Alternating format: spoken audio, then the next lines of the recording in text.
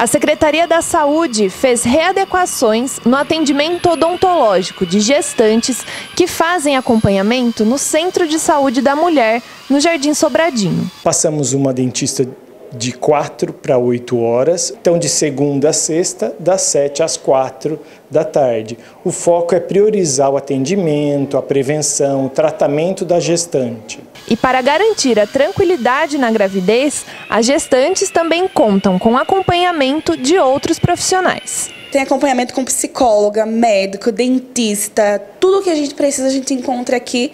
A mulher grávida, como ela precisa assim do dobro de cuidado, de atenção, aqui a gente encontra todo esse suporte. Não tenho o que falar. Nossa, estou saindo daqui maravilhada. Após o parto, a rede municipal continua ofertando o acompanhamento odontológico à mãe e ao bebê. O atendimento no CRI vai ser segunda e quinta de manhã e terça tarde para bebês e crianças até 13 anos. E aqui o pessoal da, da odontologia também vai tirando dúvidas da amamentação, o bico, a pega do bebê durante a amamentação.